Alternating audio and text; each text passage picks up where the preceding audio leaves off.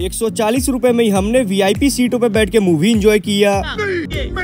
मानना तो पड़ेगा तो चलो बताता हूँ कैसे। तो होता कुछ ऐसा है कि मैं और मोहित लगभग तीन बजे के करीब में निकल जाते मूवी थिएटर जाने के लिए, और तभी मेरी बाइक रिक्शे से ठुकने से बच जाती है। वहाँ से बाइक को साइड से निकालकर हम दोनों बढ़ जाते हैं आगे, और धूप इतना तगड़ा हो रखा है, इस बात का अंदाज़ा आपको मोहित के रिएक्शन से ही मिल जाएगा। एक चीज़ मैंने काफ़ी बढ़िया किया है कि मैंने सनग्लासेस लगा रखा है, और आप लोग भी धूप में राइड करने से पहले सनग्लासेस लगा के रखो। मैं अपने सब्सक्राइबर्स का कितना ही ज़्यादा ख्याल रखता हूँ but my subscribers do not take care of me because many of the people they subscribe my channel कुछ तरीका है भीख मांगने का? मूवी थिएटर पहुँचते ही हमने फटाफट से दो टिकट बुक करवाया शैतान मूवी का और टिकट लेके फटाफट से घुस गए अंदर। अंदर आके हमें मालूम पड़ा कि वीआईपी वाले रो में दो तीन सीट खाली है। इसलिए हम लोग अपना फ्रंट वाला सीट छोड़कर आ गए पीछे और ऐसे में हम दोनों पर पर्सन एक सौ चालीस रूपए देकर वीआईपी सीट पे बैठकर मूवी एंजॉय किया।